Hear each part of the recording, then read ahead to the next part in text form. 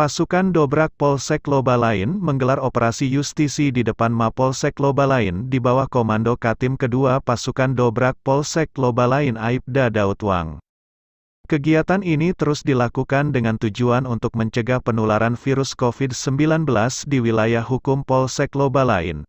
Sasarannya adalah para pengguna jalan dan yang melanggar prokes, terutama penggunaan masker diberikan teguran dan juga diberikan masker, Kegiatan ini dilaksanakan agar masyarakat bisa taat mematuhi protokol kesehatan, demi kesehatan bersama.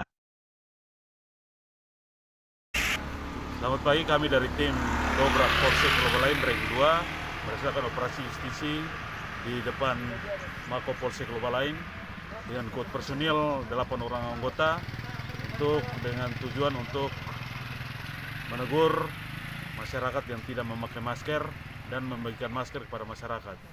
Hal ini kami lakukan tiap hari untuk mencegah peningkatan COVID di khususnya di wilayah kami, wilayah Polsek Loma lain. Salam.